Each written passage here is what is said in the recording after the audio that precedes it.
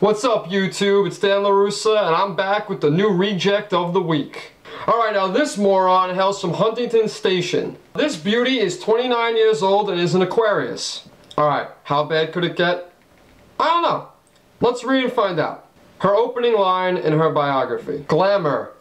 It's, with a Z, what I got and you wish you had.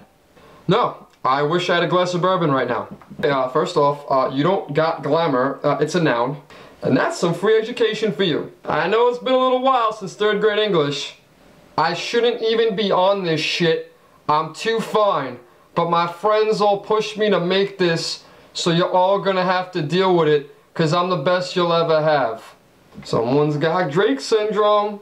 Oh, you're so attractive when you're ignorant. No, oh, fuck that. Sorry, honey, not even with all your caked on rouge and your fucking Whores Us glitter lipstick. Listen, let's get it straight, okay? For those of you out there who have seen the movie Ernest Scared Stupid, that little fucking troll with the... Oh, there it is. Since I've been on here, all I got is losers and broke assholes that just want to blank me.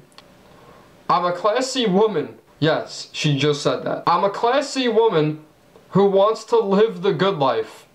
Okay, we're gonna take a quick break to define the word classy.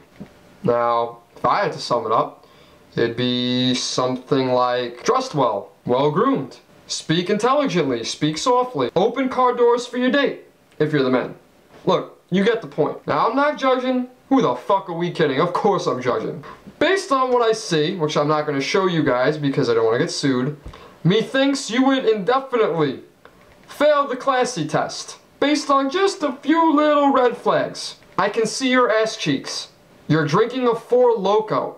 You have a tattoo on your left wrist that says simply Gucci. Fucking idiot.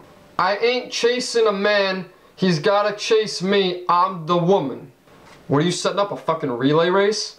My ideal man should be able to buy me whatever I need. Because if I'm your woman, I'll be giving you all that I got.